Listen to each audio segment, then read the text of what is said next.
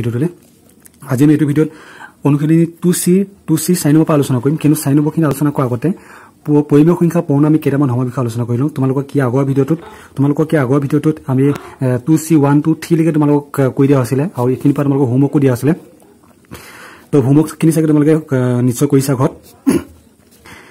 ভিডিঅ'টো আৰম্ভ কৰাৰ আগতে তোমালোকক আৰু এটা কথা কৰিলোঁ তোমালোকে আজিৰ পৰা এডুকেশ্যনেল চেনেলত আমি এই চেনেল এডুকেশ্যনৰ যিটো চেনেল হয় চেনেলটোত আমি দুটা ক্লাছৰ ভিডিঅ' দি আছিলোঁ। এইট আৰু এইট আৰু ছেভেন অসম জাতীয় বিদ্যালয় এইট আৰু ছেভেনৰ আমি কি দি আছিলোঁ অংকৰ ভিডিঅ'বিলাক দি আছিলোঁ। আৰু এতিয়া কি কোৱা আছে চেনেলটোত আমি কিছু দুটা প্লেলিষ্ট বনাই দিছোঁ।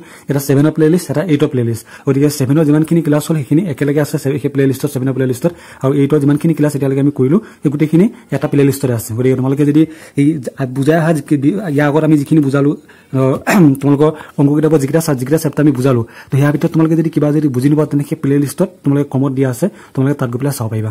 তো আহা তো আজি আমি ভিডিঅ'টো আৰম্ভ কৰোঁ। তো আজি এইটো ভিডিঅ'ত আমি টু চি অনুশীলনী চাৰি নম্বৰ পৰা আৰম্ভ কৰিম। কিন্তু চাৰি নম্বৰ কুৱেশ্যনটো কৰাৰ আগতে তোমালোকক আমি পৰিমেয় সংখ্যা পূৰ্ণ কেইটামান ধৰ্মৰ বিষয়ে আলোচনা কৰিলোঁ। এইখিনি ধৰ্মত এইখিনি ধৰ্মৰ বিষয়ে তোমালোকে আগতেই পাইছিলা। আগতে ধৰি লওক তোমালোকে ভগ্নাংশ ক্ষেত্ৰত পাইছিলে পূৰ্ণ সংখ্যাৰ ক্ষেত্ৰত পাইছিলে স্বাভাৱিক সংখ্যাৰ ক্ষেত্ৰত পাইছিলে সেইকেইটা ধৰ্মই খালী বা পৰিমেয় সংখ্যাৰ ক্ষেত্ৰত আছে। তো কি কি আছে তোমালোকে চাব চাবা। চ' পৰিমেয় সংখ্যাৰ পূৰ্ণ ধৰ্ম। চ' তোমালোকৰ প্ৰথম ধৰ্মটো মনত আছে চাগে আৱদ্ধ ধৰ্ম আৱদ্ধ ধৰ্মটো পৰিমেয় স্বাভাৱিক সংখ্যাৰ ক্ষেত্ৰত হওক বা অখণ্ড সংখ্যা অখণ্ড সংখ্যাৰ ক্ষেত্ৰত হওক পূৰ্ণ সংখ্যাৰ ক্ষেত্ৰত হওক ভগ্নাংশৰ ক্ষেত্ৰত তোমালোকে পাইছিলা চ' আৱদ্ধ ধৰ্ম কি আছিলে? যে যিকোনো দুটা আমি যদি পূৰ্ণ সংখ্যা যোগ কৰোঁ আমি এটা পূৰ্ণ সংখ্যা পাওঁ বা যিকোনো দুটা আমি পূৰ্ণ সংখ্যা পূৰণ কৰি আমি এটা কি কওঁ পূৰ্ণ সংখ্যাই পাওঁ। কথাটো বুজি পাইছা? এতিয়া পূৰ্ণ যিটো ধৰ্ম গতিকে আমি যিকোনো এইবাৰ আমি কি পঢ়ি আছো? পৰিমেয় সংখ্যা পঢ়ি আছো। গতিকে যিকোনো দুটা পৰিমেয় সংখ্যা পূৰণ কি পোৱা যাব? এটা পৰিমেয় সংখ্যা পোৱা যাব। অৰ্থাৎ আমাক যদি দুটা যদি পৰিমেয় সংখ্যা যদি দিয়া থাকে আৰু সেই পৰিমেয় সংখ্যা দুটা যদি পূৰণ কৰোঁ পূৰণ কৰিলে আমি পূৰণ কি পাওঁ? এটা পৰিমেয় সংখ্যা পাওঁ। আৰু সেইটোকে কি বুলি কয় পৰিমেয় সংখ্যা পোন প্ৰক্ৰিয়া সাপেক্ষে আবদ্ধ বিধি বা আবদ্ধ ধৰ্ম বুলি কয়। অৰ্থাৎ তোমালোকে ইয়াৰ পৰা এটা কথা তোমালোকে কেতিয়াবা সুধিব পাৰে এনেকৈ কুৱেশ্যন এটা যে পৰিমেয় সংখ্যাবোৰে পূৰ্ণ ধৰ্ম পৰিমেয় সংখ্যাবোৰে পূৰ্ণ ক্ষেত্ৰত আবদ্ধ বিধি মানি চলেনে বা আবদ্ধ ধৰ্ম মানি চলেনে? তেতিয়া উত্তৰটো হ'ব পৰিমেয় পৰিমেয় সংখ্যাবোৰে পূৰ্ণ ক্ষেত্ৰত আবদ্ধ বিধি মানি চলে। চ' নিশ্চয় তোমালোকে চাগে বুজি পাইছা ধৰি লোৱা এতিয়া আবদ্ধ বিধি কি আছিলে? চ' আবদ্ধ ধৰ্ম আবদ্ধ বিধি বিষয়ে তোমালোকে বুজি পাইছা? এতিয়া ধৰি তোমালোকে যিকোনো এটা পৰিমেয় সংখ্যা লোৱা পৰিমেয় সংখ্যা ধৰি লোৱা মই ল'লো এটা ধৰি লওক তিনি ভাগৰ মাইনাছ দুই এইটো এটা পৰিমেয় সংখ্যা। তাৰপাছতে মই আৰু এটা পৰিমেয় সংখ্যা ল'লো যেনিবা চাৰি ভাগৰ। এক এইটো এটা পৰিমেয় সংখ্যা এতিয়া এই দুটা পৰিমেয় সংখ্যা যদি মই যদি পূৰণ কৰি দিওঁ তো আমি কি কৰিম? পৰিমেয় সংখ্যা পূৰণৰ কথা পাই আহিছোঁ যে ল'ব লগত ল'ব পূৰণ হ'ব আৰু হৰ লগত কি পূৰণ হ'ব? হৰ পূৰণ হ'ব। এতিয়া দুইটা পূৰণ কৰাৰ আমি যদি কাটা কাটি যায় কাটা কাটি কৰি দিওঁ যে দুইয়ে চাইক কাটা যায় তো দুইয়ে চাইক কেইবা গ'ল? দুবাৰ গ'ল। আৰু কিবা কাটা যায় নাব আৰু বা ল'বৰ হওক বা হৰ ল'ব কাটা কাটি যায় নেকি? নাযায়। যদি নাযায় তেনে আমি কি কৰিম এতিয়া? ওপৰত যি আছে সেইকেইটা পূৰণ কৰি দিম। ওপৰত কি আছেনো? ইয়াত দুইয়ে চাইক কেইবা গ'ল দুবাৰ গ'ল। আৰু দুইয়ে দি নিজে নিজে নিজে কেইবা যায় বা যায়। গতিকে এক পূৰণ এক এক পূৰণ এক মানে কি হ'ব? একেই হ'ব। কিন্তু আগত কি চিন এটা আছে? মাইনাছ চিন এটা আছে। বুজি পাইছা নিশ্চয়? এক পোন এক মানে এক একৰ লগত এক পোন কৰিলে একেই হ'ব। কিন্তু ইয়াত যিটো আগত মাইনাছ চিন এটা আছে কি হ'ব তেল মাইনাছ ওৱান আৰু তলত কি থাকিলে? তিনি পোন দুই। তিনি গুণ কিমান?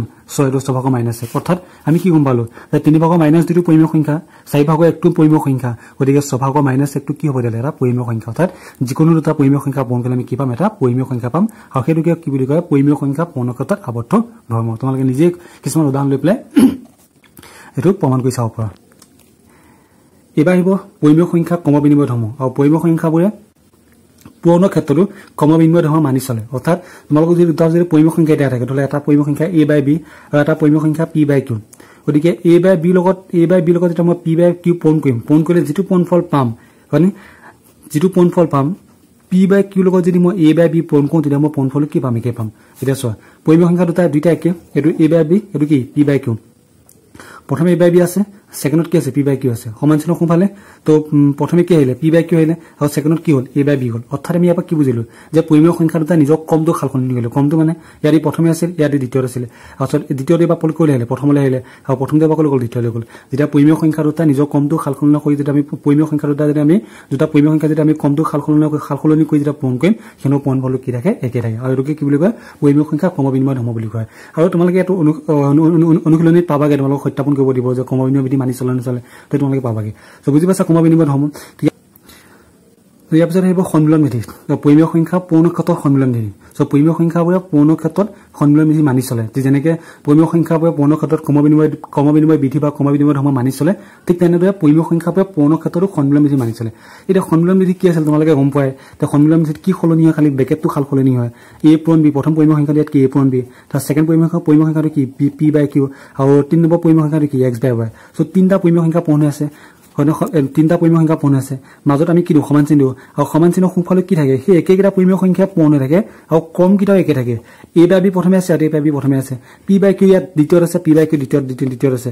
এক্স বাই ৱাইটো তিনি নম্বৰত আছে তৃতীয়ত আছে ইয়াত এক্স বাই কি আছে তৃতীয়ত আছে। গতিকে ইয়াত কি সাল সলনি হ'ব তেতিয়াহ'লে? ইয়াত সংখ্যা কম সাল সলনি নহয় ইয়াত কি হয় বেকেটটো সাল সলনি হয়। কেনেকৈ বেকেটটো সাল সলনি হয়? যে সন্মিলনতে আমি প্ৰথমটো এতিয়া দ্বিতীয়টো যদি বেকেট দিওঁ এইফালে আমি কৈ দিম দ্বিতীয়টোতে কৈ দিম তৃতীয়টোতে বেকেট দিম। গতিকে এইটো কি কি বুলি কয়? পৰিমেয় সংখ্যা এইটো কি কয়? সন্মিলন বিধি বুলি কয়। আৰু পৰিমেয় সংখ্যাবোৰে পূৰণৰ ক্ষেত্ৰত সন্মিলন বিধি মানি চলে। তোমালোকে নিজে উদাহৰণ পেলাই প্ৰমাণ কৰি চাব পৰা এনেও ওলাব। বুজি পাইছা নিশ্চয় চাগে? এইবাৰ আহিব গুণাত্মক একক সংখ্যা অস্তিত্ব। গুণাত্মক একক সংখ্যা অস্তিত্ব মানে কি? এতিয়া গুণাত্মক একক সংখ্যা অস্তিত্ব বুলি ক'লে তোমালোকে কি বুজিবা? যে এক এটা পৰিমেয় সংখ্যা আমি জানো। এক এটা পৰিমেয় সংখ্যা। একৰ লগত মই যি পৰিমেয় সংখ্যাই পূৰ্ণ কৰোঁ ধৰি লওক মই পি বাই কিউ পূৰ্ণ কৰোঁ পি বাই কিউ যদি এটা যদি পৰিমেয় সংখ্যা হয় লাগিলে পৰিমেয় সংখ্যাটো ধনাত্মক বা ঋণাত্মকেই হওক যে একৰ লগত মই যি পৰিমেয় সংখ্যাই পূৰ্ণ কৰোঁ সদায় আমি কি পাম? সেইটোকে পাম। কথাটো বুজি পাইছানে? অৰ্থাৎ একৰ লগত যিকোনো পৰিমেয় সংখ্যা পূৰণ কৰিলোঁ অৰ্থাৎ ধনাত্মক পৰিমেয় সংখ্যা বা ঋণাত্মক পৰিমেয় সংখ্যা হওক একৰ লগত মই যি পৰিমেয় সংখ্যা পূৰ্ণ কৰোঁ সদায় কি পাম? সেই পৰিমেয় সংখ্যাটো পাম। আৰু সেইকাৰণে একক কি বুলি কয়? গুণাত্মক একক সংখ্যা অস্তিত্ব বুলি কয়। বা তোমালোক সুধিব পাৰে যে পৰিমেয় সংখ্যাৰ ক্ষেত্ৰত গুণাত্মক একক সংখ্যাটো কি?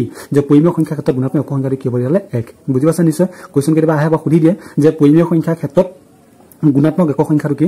যে পৰিমেয় সংখ্যাৰ ক্ষেত্ৰত গুণাত্মক একক সংখ্যাটো কি হ'ব? এক হ'ব। কিয় এক হয়? কাৰণ একৰ লগত মই যি পৰিমেয় সংখ্যা পূৰ্ণ নকৰোঁ লাগিলে ধনাত্মক হওক বা ঋণাত্মক হওক তাৰ পূৰণ সদায় কি হ'ব? সেই পৰিমেয় সংখ্যাটো হ'ব। তো বুজি পাইছা নিশ্চয় গুণাত্মক সংখ্যা অস্তিত্ব? তো এইবাৰ আমি আলোচনা কৰোঁ গুণাত্মক বিপৰীত সংখ্যা বা প্ৰতিক্ৰম। এতিয়া গুণাত্মক বিপৰীত সংখ্যা বা প্ৰতিক্ৰম প্ৰতিক্ৰমৰ বিষয়ে তোমালোকক মই তিনি নম্বৰ কাৰণ ইয়াৰ আগৰ ভিতৰত মই আলোচনা কৰিছিলোঁ যে প্ৰতিক্ৰমটো এটা যিকোনো এটা সংখ্যা প্ৰতিক্ৰম কেনেকৈ উলিয়াই এতিয়া গুণাত্মক বিপৰীত সংখ্যা বা প্ৰতিক্ৰম আমি কি বুজিম? ধৰি লওঁ আমি এটা পৰিমেয় সংখ্যা লওঁ এ by B. So A by B এটা পৰিমেয় সংখ্যা। এ বাই বি যদি পৰিমেয় সংখ্যা হয় গতিকে এই এই পৰিমেয় সংখ্যাটোৰ কাৰণে এনেকুৱা এটা পৰিমেয় সংখ্যা থাকিব যি দুটা পৰিমেয় সংখ্যা পোন কৰিলে পোন ফল কি হ'ব? এক হ'ব। অৰ্থাৎ এ বাই বিটো যদি পৰিমেয় সংখ্যা হয় ইয়াৰ কাৰণে ধৰি লওক এটা পৰিমেয় সংখ্যা আছে এক্স বাই ৱাই। কথাটো বুজি পাবছানে চ' এ বাই বি যদি এটা পৰিমেয় সংখ্যা হয় তো ইয়াৰ কাৰণে এটা পৰিমেয় সংখ্যা থাকে সেই পৰিমেয় ধৰি লওঁ আমি সেই পৰিমেয় সংখ্যাটো এক্স বাই ৱাই তো এ বাই বি এটা পৰিমেয় সংখ্যা হ'লে তো এ বাই বি পৰিমেয় সংখ্যাটোৰ কাৰণে এনেকুৱা এটা পৰিমেয় সংখ্যা থাকিব সেই পৰিমেয় সংখ্যাটো আমি কি দিছোঁ এক্স বাই ধৰিছোঁ আৰু সেই পৰিমেয় সংখ্যাটো এটা পোন কৰিলে পোন ফলো কি হ'ব সদায় এক হ'ব। আৰু তেতিয়া আমি কি ক'ম? এ বাই বিক এক্স বাই ৱাই প্ৰতিকম বা গুণাত্মক বিপৰীত সংখ্যা বা x by ৱাইক A by B কি বুলি ক'ম আমি গুণাত্মক বিপৰীত সংখ্যা বা প্ৰতিকম বুলি ক'ম। অৰ্থাৎ আমি কি বুজিলোঁ তেতিয়াহ'লে? যে এ বাই বিক এক্স বাই ৱাই প্ৰতিকম বা গুণাত্মক বিপৰীত। নাইবা x by ৱাইক A by B কি বুলি ক'ব? প্ৰতিকম বা গুণাত্মক বিপৰীত বুলি কোৱা হ'ব। কিয়? কাৰণ এ বাই বিৰ লগত এক্স বাই ৱাই কৰিলে আমি কি পাম? এক পাম। বা এক্স বাই ৱাইৰ লগত এ বাই বি পোন কৰিলে কি পোৱা যায়? এক পোৱা যায়। যেতিয়া এটা পৰিমেয় সংখ্যাৰ লগত যেতিয়া আমি এটা পৰিমেয় সংখ্যাৰ লগত আন এটা পৰিমেয় সংখ্যা যদি পোন কৰিলে পোন ফুলটো যেতিয়া এক পাম তেতিয়া সেই পৰিমেয় সংখ্যা দুটাক এটা কাণটো কি বুলি কয়? গুণাত্মক বিপৰীত বুলি কয়। এই দুটা পোন কৰি পোন কৰিলে যিটো মই এক পাইছোঁ গতিকে এ বাই বিক কি বুলি ক'ব? এক্স বাই ৱাই প্ৰতিকম বা গুণাত্মক বিপৰীত বা এক্স বাই ৱাইক এ বাই বিৰ প্ৰতিকম বা গুণাত্মক বিপৰীত বুলি কোৱা হ'ব। এতিয়া চোৱা তোমালোকে হয়তো দেখিছা যে এ বাই বিৰ লগত এক্স বাই কৰিলে আমি কেনেকৈ এক পাম? এই দুটা খালি মই ধৰি লৈছোঁ যে এ বাই বি কাৰণে ধৰিলে এনেকুৱা এটা পৰিমেয় সংখ্যা আছে এক্স বাই ৱাই যি দুটা পোন কৰিলে ওৱান পোৱা যায় এতিয়া তোমালোকে যদি উদাহৰণ লৈ পেলাই যদি চোৱা তেতিয়া বস্তুটো ভালকৈ বুজিব পাবা ধৰি লোৱা তোমালোকে এটা পৰিমেয় সংখ্যা লৈছোঁ আমি। এটা পৰিমেয় সংখ্যা লৈছোঁ আমি ধৰি লোৱা পাঁচ ভাগৰ দুই। এটা পৰিমেয় সংখ্যা কি লৈছোঁ আমি? পাঁচ ভাগৰ দুই হয়নে? তো ইয়াৰ লগত এইটো এটা পৰিমেয় সংখ্যা। চ' ইয়াৰ লগত এনেকুৱা এটা পৰিমেয় সংখ্যা থাকিব যিটো এটা পৰিমেয় সংখ্যা পোন কৰিলে পোন ফল এক পাম। আৰু সেই পৰিমেয় সংখ্যাটো কি হ'ব? দুভাগৰ পাঁচ। কথাটো বুজি পাইছানে? যে পাঁচ ভাগৰ দুই যদি পাঁচ ভাগৰ দুই এটা পৰিমেয় সংখ্যা তো পাঁচ ভাগৰ দুই যদি পৰিমেয় সংখ্যা হয় তেন্তে ইয়াৰ লগত আমি এনেকুৱা পৰিমেয় সংখ্যা পাম যি দুটা পৰিমেয় সংখ্যা পোন কৰিলে পোন ফলো হ'ব সদায় এক হ'ব। এতিয়া চাই লওক তোমালোকে পোন কৰি দিয়া আৰু। চ' পোন আমি কেনেকৈ কৰিম তেতিয়াহ'লে? ল'বৰ লগত ল'ব পূৰণ আৰু হৰ লগত কি পোন হ'ব? হৰ পোন হ'ব। তো ল'বৰ লগত ল'ব পোন হ'ল হৰ হৰ পোন হ'ল এতিয়া আমি পোন কৰাৰ প্ৰথম চাম যে ল'ব হৰক বা হৰৰ ল'ব ঘন যায় নেকি? তো যায় পাছে পাছে পাছে পাছে গৈ আছে এবাৰ। দুই দুই গৈ আছে কিবা এবাৰ? কি দেখিলে? এক পোন এক এক পোন এক মানে কিমান? এক। কথাটো বুজি পাইছা? অৰ্থাৎ এই দুটা পৰিমেয় সংখ্যা পোন কৰি আমি কি পালোঁ? পোন ফল এক পালোঁ। আমি কি ক'ম তেতিয়াহ'লে? যে পাঁচ ভাগৰ দি প্ৰতিক্ৰম কি হ'ব? দুভাগৰ পাঁচ বা পাঁচ ভাগৰ দি গুণাত্মক বিপৰীত কি হ'ব? দুভাগৰ পাঁচ বা দুভাগৰ পাঁচৰ গুণাত্মক বিপৰীত কি হ'ব? পাঁচ ভাগৰ দি বা দুভাগৰ পাঁচৰ প্ৰতিক্ৰম কি হ'ব? পাঁচ ভাগৰ দি তোমালোকে নিশ্চয় বুজি পাইছা? এতিয়া এইটো যদি তোমালোকৰ ধনাত্মক সংখ্যা ল'লোঁ যদি তোমালোকক যদি ঋণাত্মক সংখ্যা দিয়ে ধৰি লওঁ মই ল'লোঁ এইটো চাৰি ভাগৰ মাইনাছ তিনি। চাৰি ভাগৰ আমি কি ল'লোঁ মাইনাছ তিনি। চ' এইটো এটা পৰিমেয় সংখ্যা ঋণাত্মক পৰিমেয় সংখ্যা ইয়াৰ লগতো ইয়াৰ কাৰণে এনেকুৱা এটা পৰিমেয় সংখ্যা আছে যিটো এটা পৰিমেয় সংখ্যা পোন কৰিলে পোন ফলো মই কি পাম এক পাম। আৰু সেই পৰিমেয় সংখ্যাটো কি তোমালোকে যদি চোৱা দেখি যায় যে পাঁচ ভাগৰ দুই তো ইয়াৰ লগত কি পোন কৰিছে দুভাগৰ পাঁচ দুভাগৰ পাঁচটো ইয়াৰ ইয়াৰ উল্টা হয়নে? ইয়াৰ কি হ'ব তেতিয়া উল্টা হ'ব। তো মাইনাছ তিনি ভাগৰ চাৰি। কথাটো বুজি পাইছা মাইনাছ তিনি ভাগৰ চাৰি। আৰু এতিয়া তোমালোকে কি কৰিবা? যে ল'বৰ লগত ল'ব পূৰণ আৰু হৰৰ লগত কি পূৰণ হ'ব? হৰ পূৰণ হ'ব। হ'ল এতিয়া চোৱা যদি ল'বৰ হৰক বা হৰৰ ল'বক যদি কাটাকাটি যায় কাটাকাটি কৰি যায় চাৰি চাৰি কিবা গ'ল। এবাৰ মাইনাছ তিনি মাইনাছ তিনি কিবা গ'ল। এবাৰ নিজে নিজক এবাৰ যায় কাৰণ চাৰি চাৰি এবাৰ শুন মাইনাছ তিনি মাইনাছ তিনি এবাৰ এক পোন কিয় এক বুজি পাইছা নিশ্চয়? গতিকে গতিকে আমি কি ক'ম যে চাৰি ভাগৰ মাইনাছ তিনি গুণাত্মক বিপৰীত গুণাত্মক বিপৰীত বা প্ৰতিকম কি হ'ব?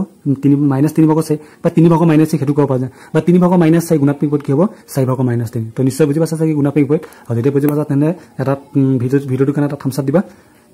এইবাৰ আমি আলোচনা কৰোঁ বিতন বিধি যাক ইংৰাজী ডিষ্ট্ৰিবিউটিভ ল' বুলি কোৱা হয়। এতিয়া বিতন বিধিটো বুজিবৰ কাৰণে ধৰি লোৱা তোমালোকে তিনিটা পৰিমেয় সংখ্যা লয় এটা পৰিমেয় সংখ্যা লৈছোঁ মই এ বাই বি এটা পৰিমেয় সংখ্যা লৈছোঁ মই পি বাই কিউ আৰু এটা পৰিমেয় সংখ্যা লৈছোঁ কি হ'ব এক্স বাই ৱাই এতিয়া A by B P by Q X by Y যদি তিনিটা পৰিমেয় সংখ্যা যদি হয় তেন্তে এই তিনিটা পৰিমেয় সংখ্যাক মই এনেকৈ লিখিব পাৰিম। A by B A by B পূৰণ bracket P by Q plus X by Y কথাটো বুজি পাইছে? এইটো আমি কেনেকৈ লিখিব পাৰিম? এ বাই বি পূৰণ P by Q bracket bracket P by Q plus X by Y আৰু এইটো যেতিয়া মই বেকেটটো যেতিয়া খুলি দিম বেকেটটো খুলি দিয়াৰ লগে লগে ইয়াৰ যিটো এ বাই বিটো যিটো পূৰণ হৈ আছে তো মই বেকেটটো যেতিয়া খুলি দিম বেকেটটো খুলি দিয়াৰ লগে লগে তো ই এ বাই বি পূৰণটো কি হ'ব? পি বাই কিউ লগতো পূৰণ হ'ব আৰু এক্স বাই ৱাই লগতো পূৰণ হ'ব। কাৰণ ই বাহিৰত আছে। বেকেটটো খুলি দিয়াৰ লগে লগে ই সোমাই যাব। আৰু ই সোমাই গৈ পেলাই কি হ'ব? বেকেটৰ ভিতৰত যিকেইটা সংখ্যা আছে সেইকেইটা সংখ্যাৰ লগত সি কি হৈ যাব? পূৰণ হৈ যাব। বুজি পাইছা নহয় আৰু এইটোক আমি কি তেতিয়া আমি কি লিখিম? বেকেটটো যদি খুলি দিওঁ তেতিয়াহ'লে এ বাই বি লগত কি পূৰণ হ'ব? পি বাই কিউ পূৰণ হ'ব। আৰু মাজত কি চিন আছে? যোগ চিন। সেইকাৰণে যোগ চিন দিলোঁ। কথাটো বুজি পাইছা? মাজত যোগ চিন আছে যোগ চিন দিলোঁ। আকৌ এ বাই বা কাৰ লগত পূৰণ হ'ব? এ বাই বা এক্স বাই লগত পূৰণ হ'ব। তো এইখিনিকে বুজি পাইছা চাগে নিশ্চয়? যে এ বাই বি পূৰণ বেকেটত কি আছিল? P by Q plus X by Y. আৰু যেতিয়া মই বেকেটটো যেতিয়া খুলি দিম বেকেটটো খুলি দিয়াৰ লগে লগে এ বাই বিটো প্ৰথমে কাৰ লগত হ'ব? পি বাই কিউ লগত পূৰণ হ'ব। কাৰণ বেকেটৰ বাহিৰত কি আছে? পূৰণ হৈ আছে। তো এ বাই বিটো পি বাই কিউ লগত পূৰণ হৈছে। মাজত যোগ চিন আছে কাৰণে যোগ চিন দিলোঁ। আৰু এ বাই বা কাৰ লগত পূৰণ হৈছে? এক্স বাই ৱাই লগত পূৰণ হৈছে। আৰু এই বিধিটোকে কি বুলি কয়? যুগৰ ওপৰত পূৰ্ণ বিতন বিধি বুলি কয়। আৰু বিতন মানে আমি কি বুজো? খানাতে বিতন মানে আমি ভাগ কৰি দিয়া বুজো বা ভগাই দিয়া বুজো। গতিকে কি বুলি ক'ব? যুগৰ ওপৰত পূৰ্ণ বিতন বিধি। মানে কোনটো বিতন হৈ গৈছে পূৰণটো বিতন হৈ গৈছে কিয় পূৰ্ণ বিতন হৈ গৈছে কাৰণ এ বাই বি পূৰণ P by Q. A by B পূৰণ কি হ'ব X by Y A by B পূৰণটো বিতন হৈ গৈছে আৰু পূৰণটো বিতন হৈ যোৱাৰ কাৰণে ইয়াক আমি কি বুলি কওঁ? যে যুগৰ ওপৰত পূৰ্ণ বিতন বিধি বুলি কোৱা। তো ইয়াক আমি কি বুলি ক'ম তেতিয়াহ'লে? যুগৰ ওপৰত পূৰণৰ বিতন বিধি। কাৰণ যুগৰ ওপৰত কি আছে? পূৰণৰ বিতন বিধি। এতিয়া তোমালোকক যদি কোনোবাই যদি সোধে যে পৰিমেয় সংখ্যাবোৰে বিতন বিধি মানি চলে নে আমি কি ক'ম যে পৰিমেয় সংখ্যাবোৰে বিতন বিধি মানি চলে। বা এনেকৈ সুধিব পাৰে পৰিমেয় সংখ্যাবোৰে যুগৰ ওপৰত পূৰ্ণ বিতন বিধি মানি চলে নে আমি কি ক'ম যে পৰিমেয় সংখ্যাবোৰে যুগৰ ওপৰত পূৰ্ণ বিতন বিধি মানি চলে। ঠিক তেনেদৰে পৰিমেয় সংখ্যাবোৰে এইটো বিধি মানি চলে এইটো তোমালোকে মনত ৰাখিবা। এইটো কি হৈছে চ বেকেটৰ ভিতৰত বিষ হৈ আছে ইয়াত বেকেটৰ ভিতৰত কি আছে? যুগ আছিলে। ইয়াত বেকেটৰ ভিতৰত কি আছে বিষ হৈ আছে। আৰু লগতে কি পৌন হৈছে কি বাহিৰত কি পৌন চিন আছে? অৰ্থাৎ ইয়াতো কি হৈছে? বিতৰণে হৈছে। কি বিতৰণ হ'ব? পৌনটো বিতৰণ হ'ব। চলো বেকেটটো যেতিয়া খুলি দিলে বেকেটটো খুলি দিয়াৰ লগে লগে এ বাই বিটো কাৰ লগত পৌন হৈছে? পি বাই কিৰ লগত পৌন হৈছে। আৰু এ বাই বিটো কাৰ লগত পৌন হৈছে? এ বাই বিটো এক্স বাই লগত পৌন হৈছে। কথাটো বুজি পাইছা? যেতিয়া বেকেটটো যেতিয়া খুলি দিয়া গ'ল বেকেটটো খুলি দিয়াৰ লগে লগে এ বাই বিটো এবাৰ পি বাই কিৰ লগত পৌন হৈছে। মাজত মাইনাছ চিন আছে কাৰণে মাইনাছ চিন দিলোঁ। আৰু এ বাই বিটো এবাৰ কাৰ লগত পৌন হৈছে? এ বাই বিটো এবাৰ এক্স বাই লগত পৌন হৈছে। আৰু এই বিধি এইটো কি বিধি বুলি ক'ব তেতিয়াহ'লে? ইয়াক বিয়োগৰ ওপৰত পৌৰ্ণ বিধি বুলি ক'লে। অৰ্থাৎ পৰিমেয় সংখ্যাবোৰে বিয়োগৰ ক্ষেত্ৰতো পৌৰ্ণ বিধি মানি চলে। বুজি পাইছা নিশ্চয় এইটো সুধি একেই খালি ইয়াত প্লাছ চিন আছে ইয়াত মাইনাছ চিন আছে। আৰু সেইকাৰণে প্লাছ চিন কাৰণে ইয়াত প্লাছ চিন বহিছে ইয়াত মাইনাছ চিন কাৰণে কি বহিছে? মাইনাছ চিন বহিছে। বাকী কি বিতৰণ হৈ গৈছে? পূৰণটোৱে বিতৰণ হৈ গৈছে। কোনটো পূৰণ হৈছে এইবাৰ পূৰণ হৈ আছে। সেইকাৰণে পূৰণটোৱে কি হৈছে? দুটা সংখ্যাৰ লগত বিতৰণ হৈ গৈছে। বেগেৰ ভিতৰত থকা সংখ্যা দুটাৰ লগত কি হৈছে বিতৰণ হৈ গৈছে। তো বুজি পাইছা তেতিয়াহ'লে তোমালোকে? উদাহৰণত তোমাৰ উদাহৰণতো আছে তোমালোকৰ প্ৰমাণ কেনে এই এইটো সত্যাপন উদাহৰণত তোমালোকে সত্যাপন কৰা আছে। তোমালোকে কিতাপখনৰ উদাহৰণটো পঢ়ি পেলাই তোমালোকে কেনেকৈ সত্যাপন কৰে? বা বাওঁফাল সোঁফাল সমান হয়নে নহয়? তোমালোকে নিজে নিজে উলিয়াই কৰি চাব চাব পাৰিবা বা তোমালোকে উদাহৰণত গৈ পেলাই চালেও তোমালোকে বুজি পাবা। তো আমি চাইনিব কুৱেশ্যনটো আলোচনা কৰোঁ আজি এতিয়া। তো চাইনিব কুৱেশ্যনটো কি দি আছে তোমালোকৰ। এ বাই বি সমান বাৰ ভাগৰ মাইনাছ সাত চি বাই ডি সমান কি দি আছে? চি বাই ডি সমান দি আছে চৌবিছ ভাগৰ পোন্ধৰ। হ'লে সত্যাপন কৰা যে এ বাই বি পূৰণ চি বাই ডি সমান C by D into A by B. এইটো কি বিধি তোমালোকে গম পাইছে? যে এ বাই বিটো প্ৰথমে আছে চি বাই ডিটো দ্বিতীয়ত আছে। সমান চিহ্ন সোঁফালে চি বাই ডিটো দ্বিতীয়ত আহিলে এ বাই বিটো ক'লো সমান চিহ্ন সোঁফালে চি বাই ডিটো প্ৰথমে আহিলে এ বাই বিটো দ্বিতীয়লৈ গ'ল। অৰ্থাৎ পৰিমেয় সংখ্যাকেইটা কমকেইটা সাল সলনি কৰিছে। আৰু কমকেইটা সাল সলনি কৰি কি বিধি কি বিধি বুলি ক'ব? ক্ৰম বিনিময় বিধি। আৰু সমান এইটো ক্ৰম বিনিময় বিধিটো হয়নে নহয় আমাক কি কৰিব দিছে? সত্যাপন কৰিব দিছে? এতিয়া তোমালোকে পাৰিবা কৰিব নিজেও তথাপি চাই লোৱা কৈ দিছোঁ বাৰু তো আমাক কি দিছে? সত্যাপন যিহেতু কৰিব দিছে সত্যাপন কৰিবলৈ আমি কি ল'ম? এইটো আমাক সত্যাপন কৰিব দিছে এ বাই বি সমান চি বাই ডি সমান চি বাই ডি সমান এ বাই বি সমান সত্যাপন কৰিব দিছে। যদি সত্যাপন কৰিব দিছে আমি কি ল'ম? লেভেন চাইড ৰাইট হেণ্ড চাইড ল'ম অৰ্থাৎ বাওঁ পক্ষ সোঁপক্ষ ল'ম। তো লেভেন চাইডে কি দিয়া আছে আমাক? A by B. পূৰণ কি দিয়া আছে? C by D. তো বাই বি পূৰণ কি পালোঁ? চি বাই ডি পাতিলোঁ। এতিয়া এ বাই বি ঠাইত মানটো পাতি দিয়া কাৰণ এ বাই বি সমান কিমান দিয়া আছে আমাক? বাৰ ভাগৰ মাইনাছ সাত দিয়া আছে। তো বাৰ ভাগৰ মাইনাছ সাত পাতিলোঁ। চি বাই ডি সমান কিমান দিয়া আছে? চৌবিছ ভাগৰ পোন্ধৰ। তো আমি কি পাতিলোঁ? চৌবিছ ভাগৰ পোন্ধৰ পাতিলোঁ। বুজি পাইছা এতিয়া? এতিয়া আমি কি কৰিম? দুটা পৰিমেয় সংখ্যা পূৰণ হ'ল। আৰু দুটা পৰিমেয় সংখ্যা পূৰণ কেনেকৈ আমি জানো? ল'বৰ লগত ল'ব পূৰণ হ'ব হৰ লগত অৰ্থাৎ তলৰ সংখ্যা দুটা তলৰ তলৰ সংখ্যা দুটা তল তলৰ সংখ্যা দুটা পূৰণ হ'ব ওপৰ ওপৰত ওপৰ সংখ্যা দুটা পূৰণ হ'ব। চ' তলত কি সংখ্যা আছে? বাৰ পূৰণ কি হ'ব? চৌবিছ অৰ্থাৎ হৰ লগত হৰ পূৰণ আৰু ওপৰত কি সংখ্যা আছে? সাত সাতৰ পোন্ধৰ। মাইনাছ সাতৰ পোন্ধৰ মাইনাছ সাতৰ লগত কি পূৰণ হ'ল? পোন্ধৰ পূৰণ হ'ল। ত' বুজি পাইছা? যেতিয়া দুটা পৰিমেয় সংখ্যা যেতিয়া পূৰণ কৰিব দিব তলৰ সংখ্যা দুটাৰ লগত তলৰ সংখ্যা পূৰণ হ'ব ওপৰ সংখ্যা দুটাৰ লগত ওপৰত ওপৰ সংখ্যা দুটা পূৰণ হ'ব। বুজি পাইছা? বা হৰৰ লগত হৰৰ পূৰণ ল'বৰ লগত ল'ব পূৰণ এতিয়া পূৰণ কৰাৰ আমি চাম যে দুটা ল'ব হৰক বা হৰৰ ল'বক হৰণ যায় নেকি? বা এনেকুৱা কিবা সংখ্যা আছে নেকি? যিটো সংখ্যাই ল'বকো হৰণ যায় বা হৰকো হৰণ যায়। তো সাত আৰু চৌবিছকতো হৰণ নাযায় যাব জানো? নাযায়? তো সাত আৰু চৌবিছক হৰণ নাযায়। বাৰ পোন্ধৰ হৰণ যায় নেকি? বাৰ পোন্ধৰ ডাইৰেক্ট হৰণ নাযায়। বা মাইনাছ সাতে বাৰক ডাইৰেক্ট হৰণ নাযায়। পোন্ধৰ চৌবিছক ডাইৰেক্ট হৰণ নাযায়। যদি ডাইৰেক্ট হৰণ নাযায় আমি চাম যে এনেকুৱা কিবা সংখ্যা আছে নেকি? যিটো সংখ্যাই ল'ব আৰু হৰ সংখ্যাকেইটাৰ ভিতৰত যিকোনো দুটাক হৰণ যায়। এতিয়া পোন্ধৰ আছে বাৰ আছে। চ' পোন্ধৰক তিনিয়ে যায় বাৰকো হন যায়। চ' পোন্ধৰক যদি তিনি যায় তিনিয়ে কিবা যাব? তিনি পোন্ধৰ গুণ তিনি পাঁচ গুণ পোন্ধৰ। আৰু বাৰকো যায় তিনি চাৰি গুণ বাৰ। কথাটো বুজি পাইছা? বাট তোমালোকে পোন্ধৰ আৰু বাৰ সন্ন পেলাই পোন্ধৰ চৌবিছকো সন্ন কৰিবা। কাৰণ তিনিয়ে তিনিয়ে পোন্ধৰকো হন যায় তিনিয়ে চৌবিছকো যায়। এইটো কৰিলেই হ'ল তোমালোকে। বা কোনোবা যদি তোমালোকে এতিয়া ইয়াত আমি কি কৈছোঁ? পোন্ধৰটোকে বাৰটোকে হন কৰিছোঁ তিনিয়ে। আৰু এটা কথা মন কৰিবা লব আৰু সৰহ দুইটাকে কিন্তু একে সংখ্যা হন কৰিব লাগিব। ইয়াক মই বেলেগ এটা সংখ্যা হন কৰিলোঁ ইয়াক বেলেগ এটা সংখ্যা হন কৰিলোঁ তেনেকুৱা নহয়। পোন্ধৰক যদি মই তিনিয়ে হন কৰিছোঁ তেতিয়াহ'লে বাৰকো মই কি হন কৰিম? তিনিয়ে হন কৰিম। বুজি পাইছা কথাটো? বা তোমালোকে পোন্ধৰক তিনি কৰিলে বা চৌবিছকো হন কৰিব কাৰণ চৌবিছকো তিনি হন যায় বুজি পাইছা কথাটো? কিন্তু তোমালোকে এনেকুৱা এনেকুৱা কৰিব নোৱাৰিব যে পোন্ধৰকো মই হন কৰিলোঁ তিনি বাৰকো মই হন কৰিলোঁ তিনি। আৰু তলত মই চৌবিছকো তিনি হন কৰিলোঁ একেলগে হন কৰিব ওপৰত যদি লবত যদি এটা সংখ্যা কাটা যায় তলতো এটা সংখ্যা কাটা যাব। অৰ্থাৎ লবত যদি এটা সংখ্যা খন যায় হওক হটোক এটা সংখ্যা হন যাব এটা সংখ্যাকে হন যাব। বুজি পাইছা কথাটো ইয়াতো মই এটা সংখ্যা হন কৰিছোঁ সেইকাৰণে ইয়াতো মই কি কৰিম? এটা সংখ্যাকে হন কৰিম। যদি মই চৌবিছক কাটিলোঁ হয় বাৰক কাটিব নোৱাৰিলোঁ হয়। বা যদি মই চৌবিছক হন কৰিলোঁ হয় মই বাৰক তেতিয়া হন কৰিব নোৱাৰিলোঁ হয়। এতিয়া হন যায় নেকি? চোৱা এতিয়া কি থাকিলে তেতিয়াহ'লে? ওপৰত থাকিলে মই মাইনাছ সাত পইণ্ট পাঁচ ওপৰত মাইনাছ সাত পইণ্ট পাঁচ থাকিলে আৰু তলত কি থাকিলে? চাৰি পইণ্ট চৌবিছ কাটাকাটি জানিব কিবা? নাযায় এতিয়া না সাতে চৌবিছ কাটা যায় না চাৰি পাঁচশ কাটা যায় একো কাটাকাটি নাযায়। গতিকে আমি পোন কৰি দিয়া এতিয়া। মাইনাছ সাতৰ লগত পাঁচ পোন গ'লে কিমান হ'ব? পঁয়ত্ৰিছ হ'ব। আৰু চৌবিছৰ লগত চাৰি পোন গ'লে কিমান হ'ব? চাৰি চাৰি ষোল্লশ অকলিব এক চাৰি গুণ নাথাকে ন নাইণ্টি ছিক্স অৰ্থাৎ নাইণ্টি ছিক্স ভাগত কি পালোঁ আমি? মাইনাছ থাৰ্টি ফাইভ পালোঁ। অৰ্থাৎ বাওঁ পক্ষে বাওঁফালে আমি কি পালোঁ? এ বাই বিৰ লগত চি বাই ডি পোন কৰি কি পালোঁ আমি? নাইণ্টি ছিক্স ভাগৰ মাইনাছ থাৰ্টি ফাইভ পালোঁ। এইবাৰ আমি ৰাইট হেণ্ড চাইডটো কৰি চাম। কি কৰি চাওঁ right hand side right hand চাইডটো ৰাইট হেণ্ড চাইডে কৰিলে আমি কি পাব লাগিব একে পাব লাগিব। ৰাইট হেণ্ড চাইডে কি দি আছে? চি বাই ডি ইণ্টু এইবাৰ অৰ্থাৎ সংখ্যা দুটাক কমকেইটা সাল সলনিকৈ পূৰণ কৰি দিছে। এবাৰ চি বাই ডিটো প্ৰথমে দি দিছে। তো চি বাই ডি সমান কিমান হৈছিলে চৌবিছ ভাগৰ পোন্ধৰ। সেই একেই হ'ব। আৰু এই বাই বি সমান এই বাই বি সমান কিমান দি আছিলে? বাৰ ভাগৰ মাইনাছ সাত। বুজি পাইছ হয়তো চ' পোন কৰিব যাওঁতে আমি কি কৰিম? কি বুলি কয়? লবৰ হয় এতিয়া দুটা পৰিমাণ সংখ্যা পোন কৰি লবৰ হয় ডাইৰেক্ট মই পোন কৰি দিওঁ। চ' ল'ব ল'বৰ লগত ল'ব পোন হৰ লগত হয় পোন তো ইয়াত ল'বটো কি আছে পোন্ধৰ। ইয়াত ল'বটো কি আছে মাইনাছ সাত। গতিকে পোন্ধৰ লগত মাইনাছ সাত পোন হ'ল। আৰু চৌবিছৰ লগত কি পোন হ'ল? বাৰ পোন বুজি পাইছ কথাটো? এতিয়া কাটা কাটি কাটা কাটি কিহে যাব? তো একেডোখৰ একেই গতিকে হয় পোন্ধৰ বাৰ কৰোঁ নহ'লে পোন্ধৰ চৌবিছ অকণ কৰোঁ চ' পোন্ধৰ এইবাৰ মই তিনি দুইটা কিহে যায় পোন্ধৰ বা পোন্ধৰ চৌবিছকে মই কৰিলোঁ। চ' পোন্ধৰ কিহে যায় তিনিয়ে যায় তিনি কিবা যায় পাঁচ বাৰ যায়। আৰু এইটো কিবা যায়? চৌবিছ সোনকালে কিবা যাব? আঠ বাৰ যাব। এইবাৰ মই বাৰ সন কৰিব নোৱাৰিম কিয়? কাৰণ ওপৰত যদি এটা সংখ্যা সন কৰোঁ তলতো মই এটা সংখ্যাকে সন কৰিব লাগিব। একেলগে মই দুটা একেলগে মই দুটা সংখ্যা সন কৰিব নোৱাৰিম। গতিকে কি থাকিলে তেতিয়াহ'লে? চ' ওপৰত থাকিলে পাঁচ পোন কি থাকিলে মাইনাছ দুই আৰু তলত কি থাকিলে? আঠ পোন কি থাকিলে? বাৰ থাকিলে। বুজি পাইছ কথাটো? এতিয়া কিবা কাটা কাটি যায় নেকি? আঠ পাঁচ পোন মাইনাছ সাত থাকিলে আৰু তলত কি থাকিলে? আঠ পোন আঠ পোন বাৰ থাকিলে। এতিয়া পোন কৰিলে কিমান হ'ব থাকিলে? পাঁচৰ লগত সাত পোন কৰিলে কিমান হ'ব? পঁয়ত্ৰিছ। আৰু বাৰ লগত আঠ পোন কৰিলে কিমান হ'ব? Ninety six. অৰ্থাৎ লিভ এণ্ড চাইড আৰু ৰাইট হেণ্ড চাইড কি সমান হ'ল? আৰু যদি সমান হয় তেনে কি হ'ব তেতিয়াহ'লে সেনে কমল গুণৰ বিধি মানি তেতিয়াহ'লে এ বাই বি পোন চি বাই ডি সমান চি বাই ডি সমান চি বাই ডি পোন এ বাই বি সমান হয় গতিকে সত্যাপন কৰা হ'ল। বুজি পাইছা নিশ্চয় এইখিনিলৈকে? আমি পাঁচ নম্বৰ কুৱেশ্যনটো আলোচনা কৰোঁ। তো পাঁচ নম্বৰ কুৱেশ্যনটো কি দিয়া আছে? যে এ বাই বি সমান তিনি ভাগৰ দুই পি বাই কিউ সমান মাইনাছ পাঁচ ভাগৰ মাইনাছ চাৰি আৰু এক্স বাই সমান কিমান দি আছে? মাইনাছ ছয় ভাগৰ সাত। হ'লে তলৰ বিধিবোৰ সত্যাপন কৰে। ইয়াত কিছুমান বিধি বিধি দি আছে। আৰু তোমালোকে বিধিকেইটা দেখিলে গম পাবা কি বিধি এইটো। দেখিছা তোমালোকে A by B point P by Q point X by Y A by B point P by Q point X by Y. আৰু বেকেটত কৈ দি আছে প্ৰথমটো দিয়া দ্বিতীয়টো দিয়া দ্বিতীয়টো দিয়া তৃতীয়টো দিয়া তৃতীয়টো বেকেট দি আছে। এইটো কি বিধি তেতিয়াহ'লে সন্মিলন নিদি সেইটো আমাক সত্যাপন কৰিব দিছে। এইটো যদি চোৱা এ বাই বি বেকেটত কি দিছে? P by Q plus X by Y. সমান A by B into P by Q plus A by B into X by Y. এইটো চোৱা কি ইয়াত বিতৰণ হৈ গৈছেনে ইয়াত ইয়াত এফালে বেকেট আছে এফালে বেকেট আছে নেকি? নাই। অৰ্থাৎ বেকেটটো খুলি দিলে। বেকেটটো খুলি দিয়াৰ লগে লগে ই বাই বিটো কাৰ লগত পোন হ'ল? পি বাই কিউ লগত পোন হ'ল। আৰু ই বাই বিটো কাৰ লগত পোন হ'ল এক্স বাই লগত পোন হ'ল মাজত যুগ চিন আছে যুগ চিন দিলে কি বিধি তেতিয়াহ'লে যুগৰ ওপৰত পুৰণা বিধি যদি আমি অলপ আগতে আলোচনা কৰি আহিছিলোঁ। জাষ্ট খালি সত্যাপন কৰা নাছিলোঁ আমি ইয়াত। তোমালোকক কি কৰিব দিছে? সত্যাপন কৰিব দিছে। আৰু সত্যাপন কৰিবৰ কাৰণে মানকেইটাও তোমালোকক দি দিছে। পাঁচ নম্বৰ একটোকে মই আজি একটোকে সত্যাপন কৰিলোঁ। তোমালোকে দুইটো নিজে কৰিব পাৰিবা। ইলেভেন চাইডে কি দিয়া আছে? E by B into P by Q into X by Y আৰু E by B into P by কিউটো বেগৰ ভিতৰত আছে। এতিয়া আমি ইয়াৰ মানখিনি মানখিনি বহাই দিওঁ। তো এ বাই বি মানটো কিমান দি আছে? তিনি ভাগৰ দুই। অৰ্থাৎ এ বাই বি ঠাইত মই কিবা দিম? তিনি ভাগৰ দিবা দিম। Into P by Q P by Q ঠাইত কি দি আছে? পাঁচ ভাগৰ মাইনাছ চাৰি তো পাঁচ ভাগৰ কি বদালোঁ মাইনাছ চাৰি পাঁচ ভাগৰ মাইনাছ চাৰি পূৰণ এক্স বাই ৱাই সমান কিমান দি আছে? এক্স বাই ৱাই সমান দি আছে। মাইনাছ ছভাগৰ সাত এইটো দি আছে আমাক। এতিয়া প্ৰথম আমি কাৰ কাম কৰিম? যিটো বেকেটৰ সদায় আমি কি কওঁ যে পুৰণি হওক বা যোগী হওক যদি বেকেট থাকে প্ৰথমে কাম কৰিব লাগিব। বেকেটৰ কাম প্ৰথমে কৰিব লাগিব। যদি মই বেকেটৰ কাম যদি প্ৰথমে কৰোঁ তেনে কি হ'ব তেতিয়াহ'লে? বেকেটৰ ভিতৰত কি কি হৈ আছে? তো ল'ব লগত ল'ব বেকেটৰ ভিতৰত দুটা সংখ্যা হৈ আছে। এই দুটা সংখ্যা হৈ আছে। গতিকে মই কি কৰিম? দুইটা ল'ব লগত ল'ব পোন কৰি দিম। হৰ লগত কি পোন কৰি দিম? হ পোন কৰি দিম। আৰু হৰটো কিমান আছে আপোনাৰ? দুই পোন মাইনাছ চাৰি। দুই পোন কি আছে? মাইনাছ চাৰি। আৰু তলত কিমান আছে? তিনি পোন তিনি পোন পাঁচ। কথাটো বুজি পাইছা নিশ্চয়? যে আমি কি কৰিছোঁ?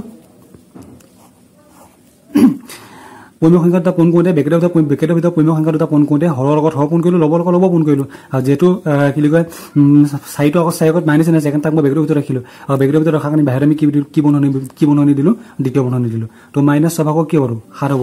এতিয়া এতিয়া দুটা পোন ককত চালোঁ যে সিহঁতক কাটা কাটি যায় নেকি বা ল'বৰ হৰক বা হৰৰ ল'বক হৰণ যায় নেকি। যদি হৰণ যায় আমি হৰণ কৰি দিম আৰু যদি নাযায় তেনে ডাইৰেক্ট আমি পোন কৰি দিম। এতিয়া তোমালোকে যদি চোৱা দুয়ে পাঁচক কাটা নাযায় তিনিয়ে চাৰি কাটা নাযায় বা দুয়ে তিনি কাটা নাযায় একোৱে কাটা নাযায়?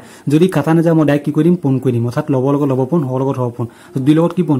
মাইনাছ চাৰি পোন। তো মাইনাছ এটা ধনাত্মক এটা ঋণাত্মক পোন ফল কি হ'ব ঋণাত্মক হ'ব। চাৰি দুগুণ মাইনাছ সাত তিনি পাৰ্চেণ্ট কিমান হ'ব আৰু? পোন্ধৰ। বুজি পাইছা নিশ্চয় কথাটো? ইনটু মাইনাছ ছভাগৰ বেকেটৰ বেকেটৰ বেকেটৰ কামটো কৰি হৈ গ'ল। চ' বেকেটৰ কামটো কৰি হোৱা কাৰণে এতিয়া বেকেট থাকিব নাথাকে। তো পোন কি থাকিব তেতিয়াহ'লে? মাইনাছ ছভাগৰ সাত। এইটো বেকেটৰ কাম কৰি হৈ গ'ল বেকেট উঠি গ'ল। তাৰ লগত কি বেকেটৰ লগত কি পোৱা নাছিলে মাইনাছ ছভাগৰ সাত। এতিয়া বেকেটৰ পোন কৰি কি পালোঁ? পোন্ধৰ ভাগৰ মাইনাছ সাত পালোঁ। তাৰ লগত কি পোন হ'ব এতিয়া? ছভাগৰ মাইনাছ ছভাগৰ সাত সাত পোন হ'ব এতিয়া। এতিয়া তোমালোকে যদি চোৱা তলৰ হৰটো সদায় আমি ধনাত্মক কৰিব লাগে। ইয়াৰ হৰটো কি ঋণাত্মক আছে? চ' ইয়াক ধনাত্মক কৰিবৰ কাৰণে ইয়াৰ লগত মই কি পোন কৰিম? ইয়াৰ লগত মই সদায় এক এটা ফোন কৰি দিম। কি এক এটা ফোন কৰিম? যিহেতু ইয়াক ধনাত্মক কৰিবৰ কাৰণে মাইনাছ ছিক্স মাইনাছ ছিক্স আছে তো ইয়াৰ লগত মই মাইনাছ ওৱান এটা ফোন কৰিলোঁ। আৰু তলত মাইনাছ ওৱান ফোন কৰিলোঁ আপুনি আমি কি ফোন কৰিম? মাইনাছ ওৱান ফোন কৰিম। সেইটো কিমান হ'ব তেতিয়াহ'লে? সেইটো হ'ব পোন্ধৰ ভাগৰ মাইনাছ আঠ। ইনটু মাইনাছ ছয়ৰ লগত মাইনাছ এক পোন কৰিলে কিমান হ'ব? প্লাছ ছিক্স হ'ব। কাৰণ মাইনাছে মাইনাছে প্লাছ হ'ব ছয় গুণ ছয়। আৰু সাতৰ লগত এক পোন কৰিলে কি তেতিয়াহ'লে মাইনাছ সাত হ'ব। কথাটো বুজি পাইছা? সাত এগুণ সাত কিন্তু একটো মাইনাছত আছে সেইকাৰণে মাইনাছ সাত হ'ব। এতিয়া চোৱা এতিয়া আমি কি কৰিম? ল'বৰ লগত ল'ব পোন হৰ লগত হ'ব পোন তলৰ দুটা পোন হ'ব ওপৰ ওপৰত ওপৰ দুটা পোন হ'ব। চ' ওপৰ দুটা পোন হ'লে মাইনাছ সাতৰ লগত কি পোন হ'ব? Minus seven. ত' মাইনাছ সাতৰ লগত যেতিয়া মাইনাছ ছেভেন যেতিয়া পোন হ'ব মাইনাছে মাইনাছে পোন যাব। আৰু মাইনাছে মাইনাছে পোন হ'ব। মাইনাছে মাইনাছে পোন হ'লে কি হৈ যায়? প্লাছ হৈ যায়। গতিকে আমি কি পাতিলোঁ? মাইনাছ তিনটো মাইনাছ তিনটো দুটা বা নাইকিয়া হ'ল কিয় নাইকিয়া হ'ল কাৰণ যেতিয়া মাইনাছ সাতৰ লগত মাইনাছ আঠৰ লগত যেতিয়া মাইনাছ সাতটো যেতিয়া পোন কৰিম তেতিয়া মাইনাছ তিনিটা মাইনাছ তিনিটা পোন যাব। আৰু আমি জানো মাইনাছে মাইনাছে পোন কৰিলে কি হৈ যায়? প্লাছ সেইকাৰণে ইয়াতো মাইনাছ চিন নাই। কিয়? কাৰণ মাইনাছে মাইনাছে পোন কৰিলে প্লাছ হৈ গ'ল। আৰু তলৰ দুটা তলৰ হৰ দুটা কি আছে? পোন্ধৰ কি আছে? ছয়। তই পোন্ধৰ লগত আমি কি পোন কৰিলোঁ? ছয় পোন কৰিলোঁ। এতিয়া আমি চাওঁ কিবা কাটি যায় নেকি? যদি কাটা কাটি যায় কাটা কাটি কৰিম। আৰু যদি নাযায় তেনেহ'লে আমি কাটা কাটি মানে কি? যদি হৰণ যায় আমি হৰণ কৰিম। আৰু যদি হৰণ নাযায় তেতিয়া আমি হৰণ নকৰোঁ। এতিয়া ডাইৰেক্টটো কাটা কাটি নাযায় সাতে পোন্ধৰ নাযায় বা আঠে ছয় নাযায় বা আঠে পোন্ধৰ নাযায়। কিন্তু আঠ আৰু ছয় এই দুটা সংখ্যাক দুয়ে যায়। আঠকো দুয়ে হৈ যায় ছয়কো দুয়ে হৈ যায়। চ' আঠক দুয়ে যায় চাৰিবাৰ আঠক আঠক দুয়ে চাৰিবাৰ ক'ল আৰু ছয়ক দুয়ে ছয়ক দুয়ে কেইবাৰ যাব তিনিবাৰ যাব। অৰ্থাৎ আঠ আৰু ছয় দুটাকে মই কি হৰণ কৰিছোঁ? দুয়ে হৰণ কৰিছোঁ। এতিয়া ওপৰত কি থাকিলে তেতিয়াহ'লে? ওপৰত থাকিলে চাৰি পোন সাত আৰু তলত কি থাকিলে? পোন্ধৰ পোন তিনি। এতিয়া আৰু কিবা কিবি কাটা যায় নেকি? নাযায়। এতিয়া ওপৰত পোন কৰি দিয়া চাৰি সাত গুণ আঠাইছ পোন্ধৰ তিনি গুণ পঞ্চল্লিছ। অৰ্থাৎ মই লেভেন চাইডে কৈ পেলাই লেভেন লেভেন চাইডটো কৈ পেলাই বাওঁ পক্ষটো কৈ পেলাই মই কিমান পালোঁ? পঞ্চল্লিছ ভাগ আঠাইছ পালোঁ। গতিকে মই সোঁ পক্ষটো কোনো কি পাব লাগিব? সিমানেই পাব লাগিব। তেতিয়া কি হ'ব? আৰু সমান হ'ব তেতিয়া। বা তেতিয়া সত্যাপন হ'ব। এতিয়া সোঁ পক্ষটো কি দিয়া? বা সোঁ চাইডে কি দিয়া আছিল? চ সোঁ চাইডে দিয়া আছিলে A by B P by Q into কি আছিলে? এক্স বাই ৱাই এইটো আমাৰ দিয়া আছে এইটো হ'ল সোঁ চাইডটো সোঁ চাইডটো তো সংখ্যাকেইটা একেই কম একো সলনি হোৱা নাই খালি বেকেটকেইটা খাল সলনি হৈছে। চ' এইবাৰ বিখন আমাক কিমান দিয়া আছিলে? এইবাৰ বিখন দিয়া আছিলে তিনি ভাগৰ দুই। চ' আমি কিবা দিলোঁ তিনি ভাগৰ দুই বাই দিলোঁ সমান পি বাই কি সমান কিমান দিয়া আছে? পি বাই কি সমান দিয়া আছে? পাঁচ ভাগৰ মাইনাছ চাৰি। তো পাঁচ ভাগৰ মাইনাছ চাৰি বাতিলোঁ পি বাই কি সমান। আৰু এক্স বাই ৱাই সমান কিমান দিয়া আছিলে? মাইনাছ ছিক্স ভাগৰ সাত। আৰু এতিয়া আমি কাৰ কাম প্ৰথমে কৰিম? বেকেটৰ বেকেটৰ কামটো আমি প্ৰথমে কৰিম। তো বেকেটৰ কামটো যদি প্ৰথমে যদি কৰিব যাওঁ তেন্তে কি হ'ব তেতিয়াহ'লে? ল'বৰ লগত ল'ব পোন হৰ লগত কি পোন হ'ব? হৰ পোন হ'ব। এতিয়া তাৰ আগতে আমি কি কৰি ল'ব লাগিব? এইটো ধনাত্মক কৰি লওঁ। আৰু এইটো ধনাত্মক কৰিবৰ কাৰণে ইয়াৰ লগত কি পোন কৰিব? মাইনাছ ওৱান পোন কৰিব লাগিব। আৰু মাইনাছ ওৱান পোন কৰাৰ লগত কি হ'ব? প্লাছ ছিক্স হৈ যাব। ইয়াৰ লগত যদি মাইনাছ ওৱান পোন কৰোঁ ইয়াৰ লগতো মাইনাছ ওৱান কৰিম মাইনাছ ওৱান পোন কৰিলে কিমান হ'ব? মাইনাছ ছেভেন হৈ যাব তেতিয়াহ'লে। তো বুজি পাইছা নিশ্চয় এইখিনিকে? তিনি পোন দুই এতিয়া দুটা পোন কৰি দিয়া। এতিয়া হৰৰ লগত হৰৰ পোন ল'বৰ লগত কি পোন হ'ব? ল'ব পোন হ'ব। যদি পোন কৰিলে কিমান হ'ব? কাট প্ৰথমে চালে কাটা কাটি যায় নেকি? মাইনাছ চাৰি আছে তলত ইয়াত আছে ওপৰত আছে মাইনাছ চাৰি তলত আছে ছয়। এই দুটা সংখ্যাক কাটা যায় দুয়ে দুয়ে মাইনাছ চাৰিক যাব। দুয়ে যেতিয়া মই চাইক কাটিম দুবাৰ যায় কিন্তু অকল চাইক মই মাইনাছ চাইক কাটিছোঁ। মাইনাছ চাইক কাটিলে কিবা মাইনাছ দুবাৰ যাব আৰু ছয়ক কিবা যাব তিনিবাৰ যাব। কথাটো বুজিছোঁ ছয় কেইবাৰ গ'ল তিনিবাৰ গ'ল। এতিয়া কি থাকিল তেতিয়াহ'লে পাঁচ তিনি গুণ পোন্ধৰ। এইফালে কিমান থাকিলে মাইনাছ দুই পইণ্ট মাইনাছ সাত। তো সাত দুগুণ কি হ'ব তেতিয়াহ'লে চৈধ্য হ'ব। আৰু মাইনাছে মাইনাছে ফোন কৰিলে কি হ'ব? মাইনাছে মাইনাছে ফোন কৰিলে প্লাছ হৈ যাব। বুজি পাইছা কথাটো? তলত পাঁচ আৰু তিনি থাকিলে পাঁচ তিনি পোন্ধৰ হ'ল ওপৰত মাইনাছ দুই পইণ্ট মাইনাছ সাত। সাত দুগুণ চৈধ্য হয় আৰু মাইনাছে মাইনাছে ফোন কৰিলে কি হ'ব? প্লাছ গতিকে মাইনাছ থাকিব নাথাকে। এতিয়া কিবা কাটা কাটি যায় নেকি চোৱা? দুইয়ে পোন্ধৰ কাটা যায় নেকি নাযায় তিনিয়ে চৈধ্য কাটা নেকি নাযায় গতিকে আমি কি কৰিম? ডাইৰেক্ট ফোন কৰি দিয়া। পোন্ধৰ তিনি গুণ পঞ্চল্লিছ হ'ব আৰু চৈধ্য দুগুণ কিমান হ'ব? আঠাইছ। পঞ্চল্লিছ ভাগ আঠাইছ। অৰ্থাৎ আমি কি পালোঁ তেতিয়াহ'লে? যে সিহঁতৰ বাওঁপক্ষ যি যি পালোঁ আমি সোঁপক্ষ কি পাইছিলোঁ? সেইটোৱে পালোঁ। অৰ্থাৎ A by B into P by Q bracket into কি হ'ব? এক্স বাই ৱাই সমান কি হ'ব তেতিয়াহ'লে? A by B into P by Q into X by Y সমান হৈছে তো বাওঁফালে যিমান পাইছিলোঁ আমি সোঁফালে কিমান পাইছোঁ? আমি সিমানেই পাইছোঁ। T by B into P by কিন্তু এক্স বাই ৱাইটো সত্যাপন্ন গ'ল তো বুজি পাইছা? এইটো যদি বুজি পাইছা তোমালোকে দুই নম্বৰটো নিজে কৰিব পাৰিবা। দুই নম্বৰটো খালি এইটো বিতন বিধি যুগৰ ওপৰত পূৰ্ণ বিতন বিধি তোমালোকে নিজে কৰিবা। আৰু কৰিবা কৰি পেলাই কমেণ্ট কৰি কমেণ্ট কৰি ক'বা যে কৰিব পাৰিছা নে নাই। আৰু যদি নোৱাৰা তেতিয়াও ক'বা তেতিয়া মই নেক্সট ভিডিঅ'ত ইয়াৰ বিষয়ে আলোচনা কৰিম। ছয় নম্বৰ প্ৰশ্নটো আলোচনা কৰোঁ। খালী ঠাই ছয় নম্বৰ তোমালোকে গোটেইকেইটা পাৰিবা যদি ভালকৈ চোৱা। কাৰণ এইকেইটা গোটেইকেইটা তোমালোকৰ বিধিৰ ওপৰত দিয়া আছে। আমি যিকেইটা বিধি ইতিমধ্যে পঢ়ি আহিলোঁ সমবিনিময় বিধি বা সন্মিলন বিধি যুগৰ ওপৰত পূৰ্ণ বিতৰণ বিধি সেইখিনি বিধি দিয়া আছে। তোমালোকে অকণ ভালকৈ চালে এনচাৰকেইটা নিজে কৰিব পাৰিবা। তো প্ৰথমটো কি দিছে চোৱা? মাইনাছ ন ভাগৰ চাৰি পূৰণ এঘাৰ ভাগৰ আঠ। তো প্ৰথমে কি আছিলে? মাইনাছ ন ভাগৰ চাৰি আছে পূৰণ এঘাৰ ভাগৰ আঠ দ্বিতীয় এঘাৰ ভাগৰ আঠ আছে। সমান চিহ্ন সোঁফালে কি আছে? এঘাৰ ভাগৰ আঠটো প্ৰথমে আছে। তো পিছলৈ কোন যাব দিয়ালে প্ৰথমটো পিছলৈ গুচি যাব। তো সেইখিনিত কি হ'ব দিয়ালে মাইনাছ ন ভাগৰ চাৰি। অৰ্থাৎ বিতন বিধি খাটি আছে। হয়তো বিনিময় বিধি খাটি আছে। কম কম বিনিময় বিধি। ঠিক তেনেকৈ এইটো একে ছভাগৰ পাঁচ পূৰণ খালী ঠাই আছে। তো সমান সমান সোঁফালে কি আছে তেৰ ভাগৰ সাত পূৰণ ছভাগৰ পাঁচ। ইয়াত ছভাগৰ পাঁচটো প্ৰথমে আছিল ইয়াত ক'ত আছে লাষ্টত আছে ইয়াত তেৰ ভাগৰ সাতটো প্ৰথমে আছে। তো ইয়াত তেৰ ভাগৰ সাত ক'ত হ'ব? দ্বিতীয় থাকিব। এইখিনিত কি দিব দিলে সেইখিনি তেৰ ভাগৰ সাত হ'ব। ত' মোৰ মতে তোমালোকে এইকেইটা নিজে কৰিব পাৰিবা। এইকেইটা তোমালোকে নিজে কৰিব পাৰিবা। এইটো চোৱা এইটো কি বিধি কি বিধি হৈ আছে এইটো? সন্মিলন বিধি কাৰণ প্ৰথম তেতিয়া দ্বিতীয়টোতে বেকেট আৰু ইয়াত দ্বিতীয়টোতে তৃতীয়টোতে বেকেট। ইয়াত সংখ্যাৰ কমটো সাল সলনি হয় নেকি? নহয়। প্ৰথমে যিটো সংখ্যা থাকে দ্বিতীয় যিটো সংখ্যা থাকে তৃতীয়টো সেইটো সংখ্যা থাকে। ইয়াত দ্বিতীয় যিটো আছে ইয়াতো দ্বিতীয়ত সেইটো আছে। তৃতীয় যিটো আছে তৃতীয়ত সেইটো আছে। প্ৰথমে কোনটো হ'ব? ইয়াত প্ৰথমে যিটো আছে ইয়াতো প্ৰথমে সেইটোৱে হ'ব। বুজি পাইছা কথাটো নিশ্চয়? এইটো চাই লোৱা কি আছে? বেকেটৰ ভিতৰত যোগ হৈ আছে? বেকেটৰ বাহিৰত কি আছে? পোহৰ হৈ আছে। তাৰমানে যুগৰ ওপৰত পোহৰ বিতৰণ নীতি বুজি পাইছা নহয় যুগৰ ওপৰত পূৰ্ণ বিতৰণ বিধি গতিকে এইটো তোমালোকে বিতৰণ ভিত্তিটো খটুৱাই দিছে। তো নভাগৰ এঘাৰ লগত এইখিনি কি পূৰ্ণ হ'ব তোমালোকে নিজে কৰিব পাৰিবা। ঠিক তেনেকৈ এইটো একেই। চাৰি নম্বৰ সদায় পাঁচ নম্বৰ একে গতিকে তোমালোকে এইকেইটা কৰিবা। তো ছয় নম্বৰ খালী ঠাইকেইটা তোমালোকে নিজে কৰিবা আৰু পাঁচ নম্বৰ দুই নম্বৰটো তোমালোকে নিজে হোমৱৰ্ক কৰিবা এইকেইটা। তো আজিলৈ ভিডিঅ'টো ইমানেই। যদিহে ভাল লাগিছে তেনেহ'লে লাইক কৰিবা আৰু তোমালোকৰ লগৰ বন্ধু বান্ধৱীলৈ শ্বেয়াৰ কৰি দিবা। যদি তোমালোকে নতুনকৈ চেনেলটোত আহি পেলাই ভিডিঅ'টো চা ভিডিঅ'টো যদি চাচা তেনেহ'লে যদি এতিয়ালৈকে যদি চেনেলটো যদি ছাবস্ক্ৰাইব কৰা নাই তেনেহ'লে চেনেলটো ছাবস্ক্ৰাইব কৰি দিবা আজিলৈ ইমানেই ধন্যবাদ